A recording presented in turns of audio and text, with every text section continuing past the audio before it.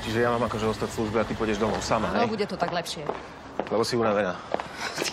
Chceš počuť pravdu? Nechcem, aby si išiel so mnou domov, pretože ma štveš. Lebo čo? Lebo Linda? Veď si s ňou spal v posteli. A ukázalo sa, že je blázon. A čo, ak som blázon, ja keď ti verím? Blázon si, ak mi neveríš, Rebeka. Ešte presne toto som nechcela. Riešiť nejakú pošahanú Lindu. Idem domov, vyspím sa a zajtra bude všetko OK. Tak čo? Nejdete spolu oslovať jej atestáciu? Nie, nie, nie. Si to oslavila namiesto nás. Tak čo keby sme to oslavili my dvaja? Hm? Čo, už si konečne pochopil, že Rebeka nie je tá pravá a že je tu žena, ktorá o tebe sníva, Adam? Šibe ti, Linda? Ako ťa vôbec niečo takéto napadlo, že ty a ja?